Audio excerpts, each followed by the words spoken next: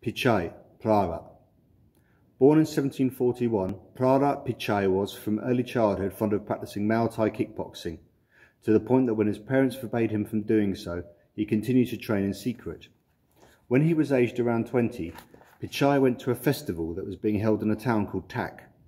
There was a ring set up, inside of which was a famous fighter named Arjan Nai Hiao, whom no one had yet dared challenge. I'll fight him, called out Pichai from the crowd. Up he went into the ring, where an overconfident Howell charged towards him. In spectacular fashion, and much to the watching crowd's amazement, Pichai soon beat him. Also watching that day was Pra Taksin, the future king of Siam, present-day Thailand. For the country was at that time under Burmese occupation, and he was quick to make Pichai his personal bodyguard. With the Burmese forces engaged in fighting the Chinese, General Taksin, as he was then known, soon succeeded in raising an army of which Pichai was made commander-in-chief.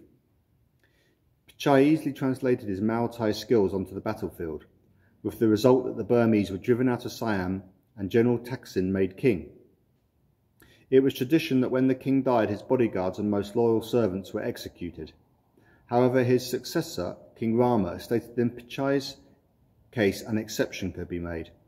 So invaluable had he been in securing his country's freedom from an occupying force that his life would be spared.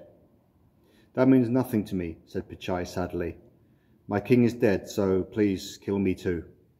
Perplexed, King Rama nevertheless granted the 41-year-old fighter his wish, and in 1969 a bronze statue was finally made to honour him, the inscription, in memory and loving honour for the pride of our nation.